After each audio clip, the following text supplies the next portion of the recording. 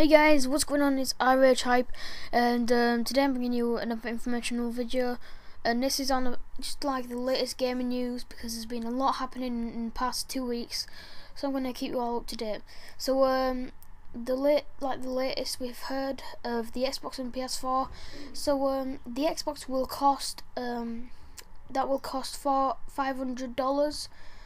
Um, I don't know what that is in pounds um, right now um, the PS4 um, that has been like you, you now have the console like picture so you know what it looks like now and that will cost $400 which is 350 pounds. So um, I'm gonna be you know doing a like kind of pros and cons between both of them later on um, this week.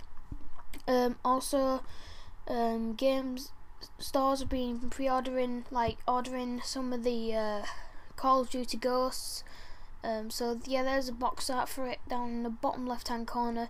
Look pretty nice as well, and it looks like the PS4 case is going to be bigger than the Xbox One, which it's been the the other way around in the last few years.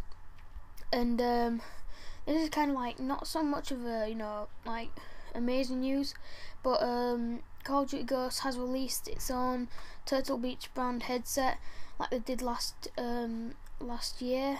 I think they did with Black Ops 2 and the year before with Modern Warfare 3. So um, that's what it's going to look like. It looks pretty cool, um, but it's going to be kind of like a normal headset, except it's quite good for listening to footsteps probably. So um, anyway, guys, um, another kind of little information.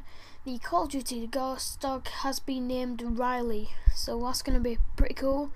And um, some of his features are actually really nice, so um, I can't wait to play with that.